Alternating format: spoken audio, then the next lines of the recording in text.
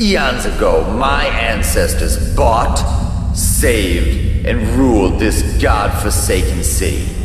And I am not about to give it up without a struggle. In a city like Grand Rapids, no one in, no one out. The street's always been trouble even before the apocalypses. The Steelcase Corporation requires more workers! Take it to the arena.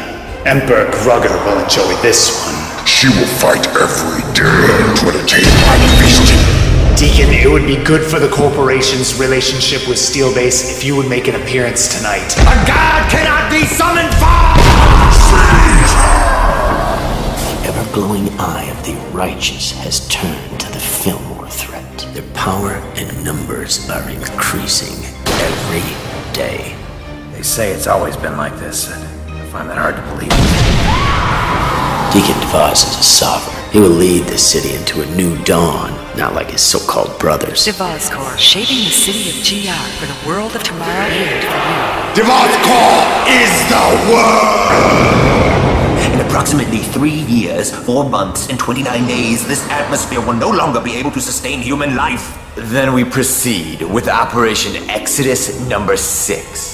20 teams of highly skilled DeVos miners shall dig deep into those accursed gypsum mines. The Corp is simply trying to sustain life by colonizing underground.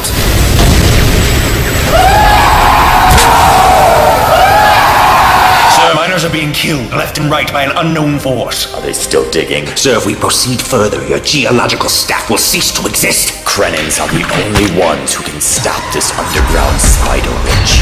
War maidens, sir, they hate you. They hate you for what your father damn Lord has done. Krennis cannot light the path of the new dawn!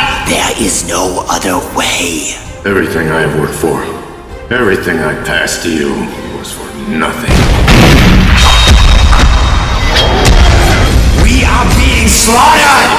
You are a shame to the DeVos dynasty.